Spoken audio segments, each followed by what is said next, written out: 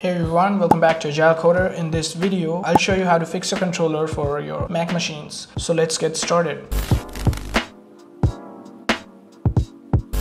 First of all, this is my PCSX2 and I have my controller connected via Bluetooth. You can see Gamepad Plus V3 is connected, but let me show you when I open any game and try to use the controller, it doesn't work. So I am clicking buttons on my controller but nothing's happening. So and the same thing happens with PPSSPP as well. Let me show you.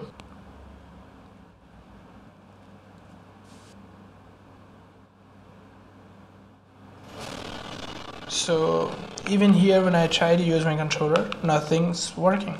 So let's fix this so first of all, we need to check if our controller is actually working, not that it's broken or something. So you can come here to hardwaretester.com slash gamepad and connected your controller to your Mac machine via Bluetooth or via a wired connector. You can see this interface right here and when I click on any buttons, it will show you the feedbacks. That means every button is working. You can test your buttons uh, all the buttons analogs and make sure that your controller is actually working before you know trying out different things. So as you can see my controller is working just fine. I've tested all my keys and it is giving some sort of feedback to me. So the next thing we can do is we can download a utility program called enjoyable which is you know helps for mapping the keyboard keys with our controller. So I've downloaded it already. So let me just pop that thing out. Enjoyable so this is the utility.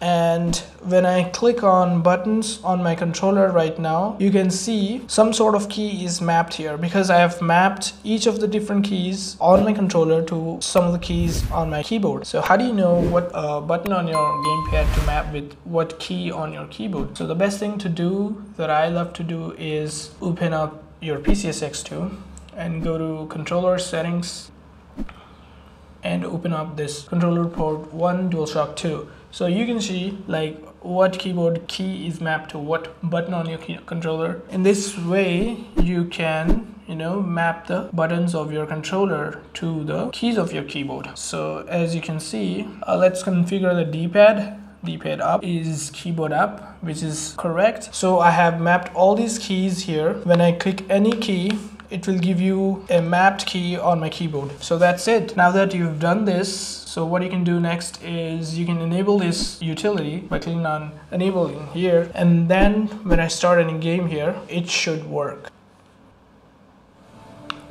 Yeah, now the controller is working just fine. Now you can enjoy your game on PPSSPP or PCSX2. Also, let me show you that this should work in PPSSPP as well. Now that it is working on PCSX2, it should work on here as well. Yes, let's open Ghost of Sparta.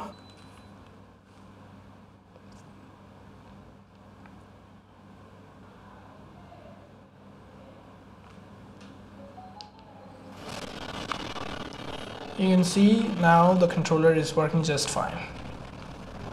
And you can play you can start the game as well. Box to toggle. Yep it is working so that's it. This thing should work on all the controllers for you know whatever emulation software you're trying to use on your machine. If you have any questions and queries please ask them in the comments. I'll make sure to answer them. See you in the next one. Peace